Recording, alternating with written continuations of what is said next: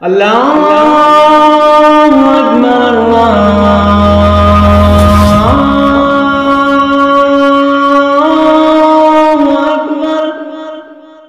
السلام علیکم ورحمۃ اللہ وبرکاتہ۔ ناظرین کرام، نبی کریم صلی اللہ علیہ وسلم کی عظمت و سیرت تو ایسی ہے کہ نہ صرف اپنے بلکہ غیر بھی بغیر متاثر ہوئے بنا نہیں رہ پاتے۔ کیونکہ ناظرین، اللہ رب العزت نے آپ صلی اللہ علیہ وسلم کو تمام جہانوں کے لیے رحمت بنا کر بھیجا ہے۔ نبی کریم صلی اللہ علیہ وسلم نہ صرف انسانوں کے لیے، بلکہ جنات، فرشتے اور تمام مخلوقات کے لیے رحمت بنا کر بھیجے گئے۔ دوستو، اس غیر مسلم آفسر نے کس طرح نبی کریم صلی اللہ علیہ وسلم کی شان و عظمت بیان کی ہے اور اسلام کا نظریہ پیش کیا ہے کہ اسلام کتنا خوبصورت، سکون اور عمل بھرا دین ہے۔ آئیے ناظرین، آپ کو ویڈیو دکھاتے ہیں۔ چیز ہے۔ وہ مذہب اس کو اس کی اجازت نہیں دیتا۔ نام و نصب زمین کے نسلوں میں بٹ گئے۔ آدم کے بیٹے کتنے قبیلوں میں بٹ گئے۔ آئے ہیں جب سے پیش امامت کے مسئلے سجدے ہمارے کتنے مرلوں میں بٹ گئے۔ یہ کس طرح سے قوم کو الزام میں گم رہی جب رہنما ہی قوم کے فرقوں میں بٹ گئے۔ اگر رہنما ہی فرقوں میں بٹ گئے اور انہوں نے اس چیز کو نہیں سمجھا، اس کو مقصد کو نہیں سمجھا تو ہم اس مہان اور اس گریٹ ریلیجن کو کیوں دوست دیں جنہوں نے جنہوں نے پوری دنیا میں امن کو لایا؟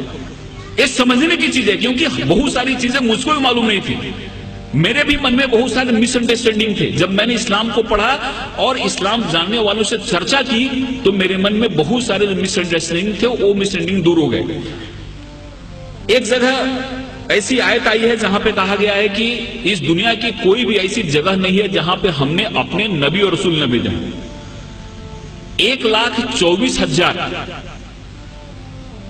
ہم نے اپنے نبی رسول دنیا میں بھیجے، جس میں سے پچیس کا نام قرآن میں آیا۔ ہے دنیا کی کوئی بھی ایسی جگہ نہیں ہے جہاں پہ ہم نے نبی رسول نہ بھیجے ہو اور پوری دنیا جو ہے وہ خدا کی بنائی ہوئی ہے۔ اس لیے خدا کے لیے ایک شبد یوز کیا گیا ہے۔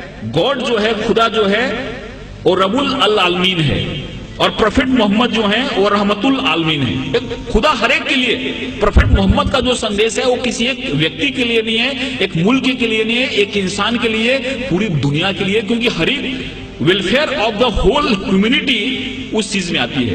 اس لیے اس چیز کو جب ہم سمجھتے ہیں اس چیز کو ہم اپنے ذہن میں لاتے ہیں تو ہم کو ایسا لگتا ہے کہ اسلام جو ہے، اسلام کا جو مین جس کو ہم گابھا مراٹھیوں بولیں ایسنس بولیں، ہندی میں سار بولیں، وہ ہے کہ انسان ایک کیسے بہتر زندگی جی سکتا ہے اور خدا کے کیسے قریب جا سکتا ہے، ایک چیز ہمارے اسلام میں بتائی گئی ہے۔ اور مجھے امید ہے کہ اس طرح کے کارکرم سے یہ جو بات ہے لوگ تک پہنچے گی اور انسان ایک اچھا بہتر انسان بنے گا اور ہر ایک انسان کے من میں پیار، محبت کی بات آئے گی۔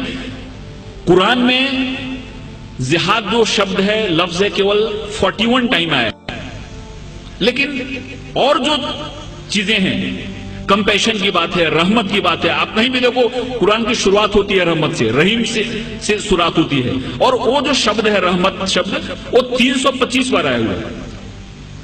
رحمت شبد جو ہے، کمپیشن شبد جو ہے، وہ تین سو پچیس بار آیا ہوا ہے اور جہاد شبد جو ہے، وہ فورٹی ون ٹائم آیا ہے اور وہ بھی جنگ کے ارتھ میں نہیں آیا ہے۔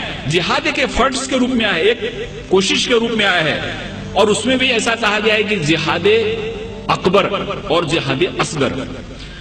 تلوار کی لڑائی بہت چھوٹی لڑائی ہے، جس کو انہوں نے جہاد اصغر کہا۔ اور خود سے لڑنا جہاد اکبر ہے۔ سب سے بڑی لڑائی ہے خود سے لڑنا۔ ہمارے اندر جو وکار ہے، ہمارے اندر جو دوش ہیں، ہمارے اندر جو خامیاں ہیں، ان خامیوں سے لڑنا سب سے بڑی لڑائی جس کو جہاد اکبر کہا اور ترواڑ کی لڑائی، چھوٹی لڑائی ہے، اس لڑائی کو بہت زیادہ ترجیح نہیں دی، وہ جہاد اصغر ہے۔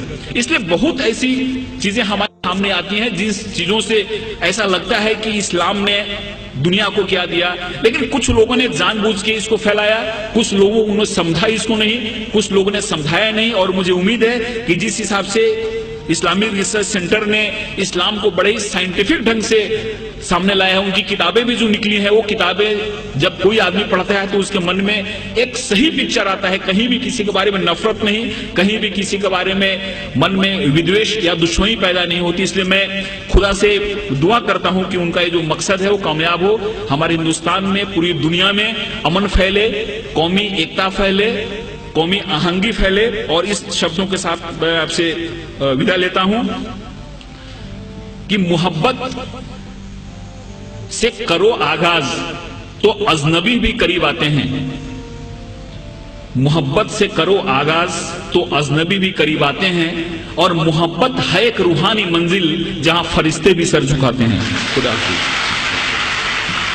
اگر آپ ہمارے چینل پر پہلی بار آ رہے ہیں، تو آپ ہمارے چینل کو سبسکرائب کر کے بیل آئیکن کو ضرور دبا دیں تاکہ ہماری آنے والی ویڈیوز کی اپڈیٹ لگاتار آپ کو ملتی رہے۔ اور اگر آپ ہمارا یہ ویڈیو فیس بک پیج پر دیکھ رہے ہیں، تو فیس بک پیج کو لائک کرنا نہ بھولیے گا۔